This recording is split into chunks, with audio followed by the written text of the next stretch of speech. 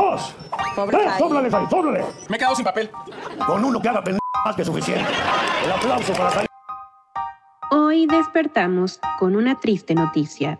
Eleazar del Valle, mejor conocido como el Compayazo, personaje que a través de los años había ganado el cariño del público con su famosa máscara de payaso, habría sufrido un derrame cerebral. Ahora, tristemente, el 17 de octubre del 2024 fue revelado su deceso. Y es que la salud del comediante no había sido la mejor desde hace unos años, pues se sabe que padecía de una enfermedad renal crónica, por la cual se le tenía que hacer constantemente hemodiálisis. Quizás no sepas quién fue, pero con los videos que te voy mostrando ya te darás una idea de su trayectoria.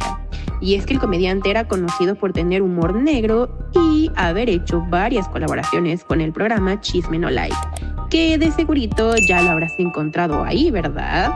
Pero no todo era flores y colores, pues Eleazar del Valle lo tuvo muy difícil desde joven. Nacido en Tulancingo Hidalgo, a los pocos días de haber nacido fue a parar a la Ciudad de México, y aunque sus padres le trataban de dar lo mejor, su matrimonio quebró y la vida de Eleazar cambiaría para siempre. Ya de niño le gustaba mucho el teatro y cuando creció empezó a estudiar literatura dramática en la UNAM. Pero para su desgracia no pudo completar ese sueño de concluir su carrera porque desde ese entonces tenía velarse y ganarse la vida por sí mismo.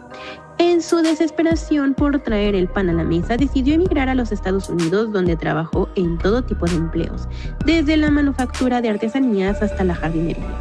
Todo eso le hizo reflexionar y decidir que quería ser un gran actor, y por ello decidió establecerse en Los Ángeles.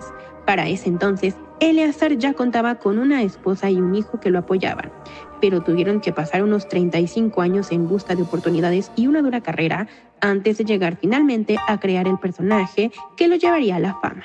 Pues actuó en programas poco conocidos, hizo doblaje de voz y de vez en cuando daba algunos shows cómicos en bares y restaurantes.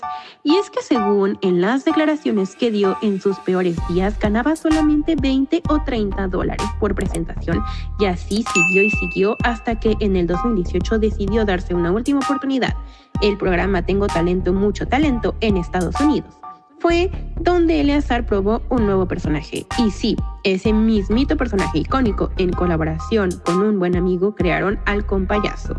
Desde los primeros minutos de su presentación se ganó la simpatía del público, un payasito de apariencia siniestra y un humor algo tosco.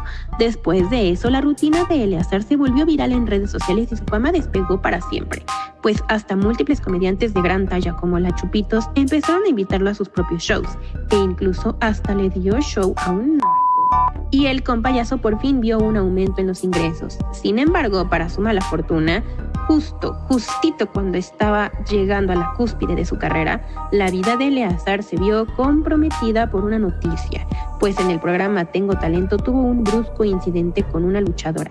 De ahí, el comediante empezó a notar unas molestias en su cuerpo. Acudió con el médico y ahí le informaron que padecía de una delicada afección en los riñones. Lo que sí es que Eleazar no se cuidó mucho, que digamos, pues incluso él ha dicho abiertamente que tenía una debilidad por la bebida y otras sustancias. Los médicos le dijeron que si quería seguir con su carrera tenía que cuidar mucho su salud. Lamentablemente hoy ya no está más aquí, pues la recaída que tuvo fue definitiva. ¿Tú conocías la historia del compayazo? ¿Te hizo reír? Nuestras más sinceras condolencias hacia la familia del comediante.